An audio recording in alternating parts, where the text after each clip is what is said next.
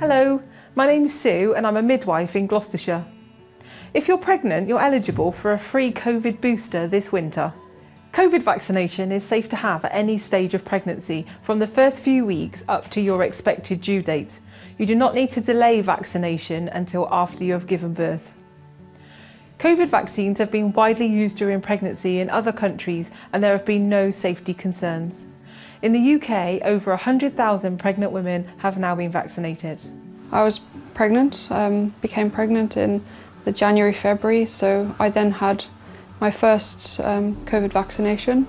I was about six weeks or so pregnant. So I went to the, the, the, unit where they were doing the, the jabs. Um, spoke to the doctor there because I was thinking, oh, I'm only a few weeks pregnant. Is this going to be okay for me? I spoke to the on-site doctor and he reassured me that yes, actually, you know, if, it, if you were my wife, I would have advised you at this point of your pregnancy to have the jab, but it's completely up to you. Your choice. If you feel like having it, please proceed.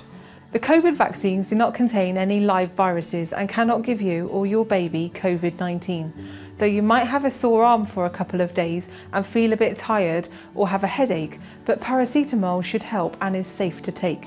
COVID vaccination is recommended as when you become pregnant, your immune system weakens, which makes it harder to fight off infections. You're at higher risk of getting seriously ill from COVID-19 if you're pregnant.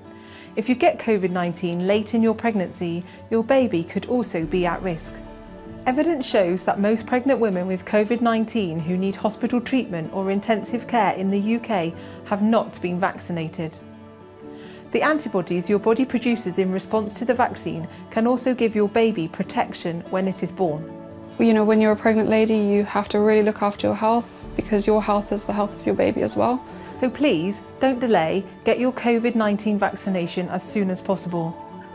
You should receive an invite from local GP services to book an appointment, or you can book an appointment using the National NHS booking system on the internet. If you have any questions about COVID vaccination in pregnancy, please speak to your GP or midwife or visit the NHS website.